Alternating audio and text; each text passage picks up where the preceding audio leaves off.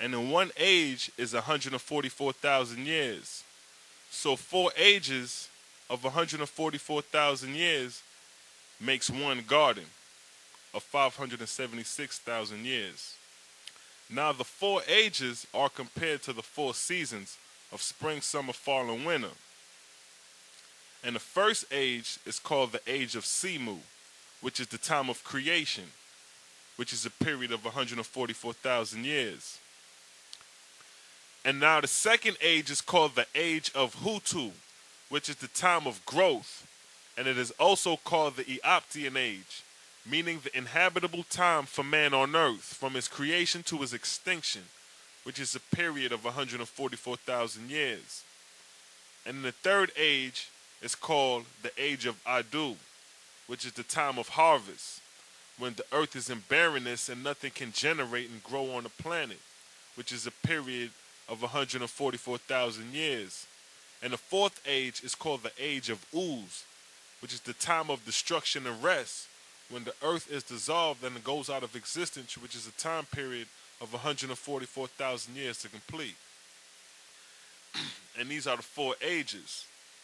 Now, in the book of Jehovah, chapter 4, verses 15 through 17, it gives these four ages. It states, First, as vapor, the vortex carries it forth, and as it condenses, the friction engenders heat, and it is molten, becoming as a globe of fire in heaven. Then it takes its place as a newborn world, and I set it in the orbit prepared for it. Verse 16 In the next age I bring it into Simu, for it is right for the bringing forth of living creatures, and I bestow the vegetable and animal kingdoms. Verse 17 Next it enters Hutu, for it is past the age of begetting, even as the living who are in dauntage. Next it enters Adu, and nothing can generate upon it. Then come Uz, and then it is spirited away into the unseen realms. Thus create I, and thus dissipate planets, suns, moon, and stars.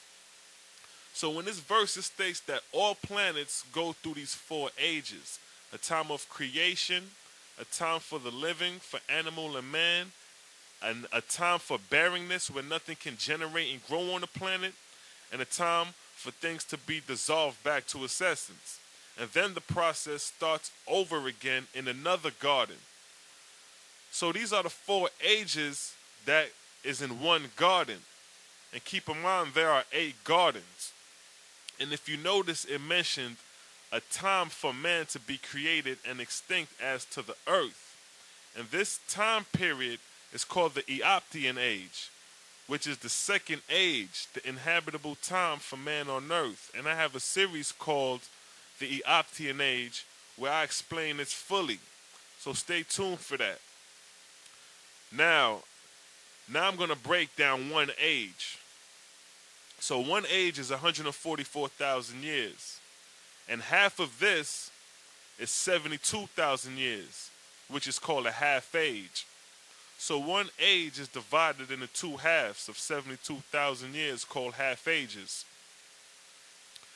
Now, a half age of 72,000 years is broken down into three intervals of 24,000 year periods called Gadol periods.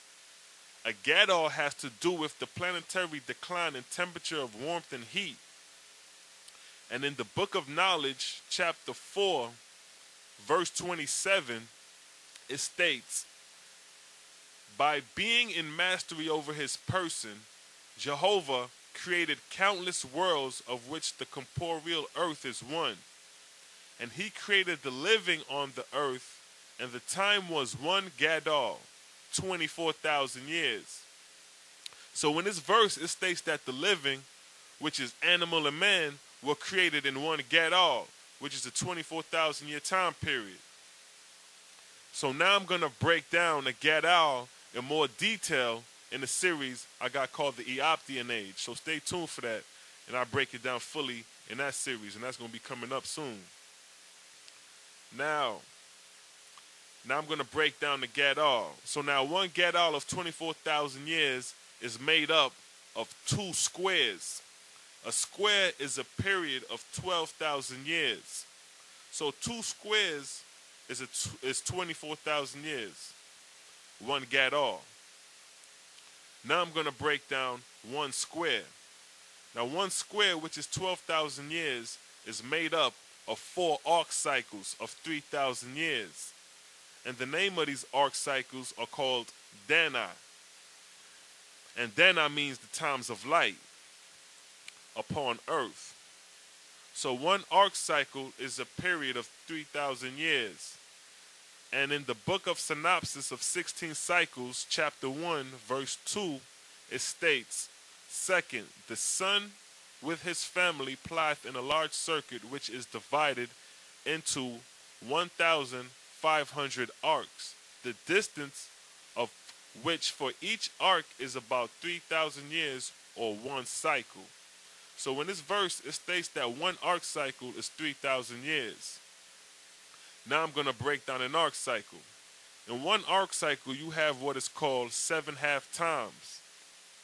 And a time is made up of 400 years, and a half time is made up of 200 years.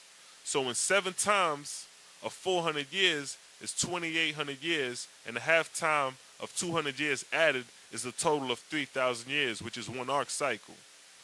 And in the book of Osiris, son of Jehovah, chapter 6, verse 20 and 21, it states, it gives an example of these of these times and half times. And this is not the Osiris of Egypt, but the Osiris the first who came 7,000 years before the Osiris known in Egypt.